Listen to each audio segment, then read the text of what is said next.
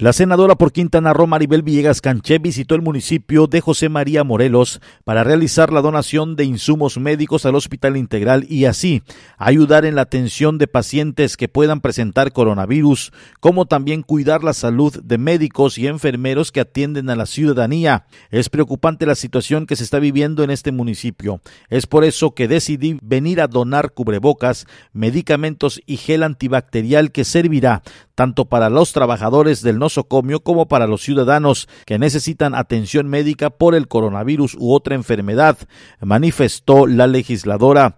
Durante su visita, Villegas Canché escuchó de primera mano las necesidades que se tienen en el hospital. Me comentan los doctores que el hospital necesita infraestructura digna como baños, un aula de usos múltiples, además de aires acondicionados en el área de quirófano y para el almacén en donde se resguardan los medicamentos contemplando también un comedor para el personal. La senadora señaló, es importante voltear a ver a los municipios más olvidados y garantizar que la enfermedad no se propague en estos. Con las medidas de higiene necesarias y prevención lo lograremos, enfatizó.